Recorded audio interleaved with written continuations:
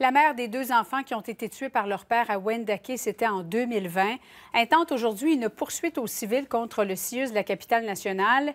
Émilie Arsenault soutient qu'il y a des signalements qui ont été faits à la DPJ avant le drame concernant justement les craintes pour la sécurité de ses enfants et qui n'ont pas été considérés, José. Donc, elle demande aujourd'hui réparation.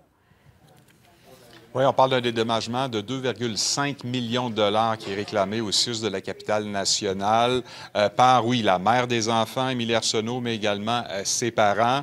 Euh, donc, les détails, justement, de cette poursuite qui ont été dévoilés ici, en conférence de presse, là, au cours de l'après-midi, dans une salle d'un hôtel de Québec, étaient présents, bien sûr, la mère des enfants, son père, leur avocate. Un point de presse, bien sûr, qui a été quand même émotif.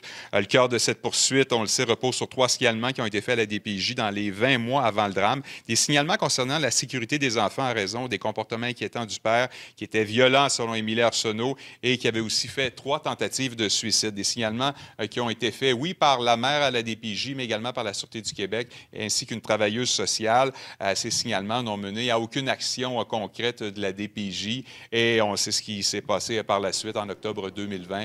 Donc, Michael Chiquan qui a tué ses deux enfants. Pour la mère des enfants, cette poursuite et ce dédommagement qui est réclamé va bien au-delà, justement, euh, d'un dédommagement pour les préjudices subis. On souhaite passer un message et faire en sorte que ce genre de situation ne se reproduise plus dans l'avenir.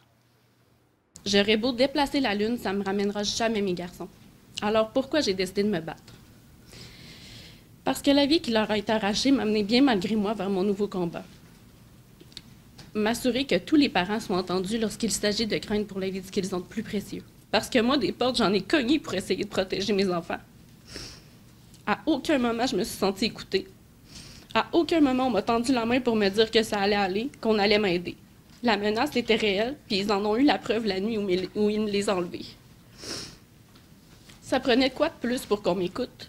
Pourquoi est-ce qu'on promet toujours d'intervenir une fois qu'il est trop tard? Bon, José, est-ce qu'on doit comprendre qu'à ce moment-là, le père et la mère n'étaient plus ensemble? Pourquoi c'était pas la mère à ce moment-là aussi qui avait la garde des enfants? Oui. Lorsque le drame s'est produit, euh, mhm. donc les parents étaient séparés, mais au début euh, des signalements, donc euh, le couple qui était toujours ensemble. Donc c'est ah pourquoi là, il n'y avait pas eu de, procédure officielle, si on veut, de séparation. je vous rappelle que Michael Chicoine a été condamné à la prison à vie pour meurtre au deuxième degré. Donc il ne pourra sortir de prison là, pour une libération conditionnelle avant au moins 16 ans. Merci pour ces précisions, José. Au revoir.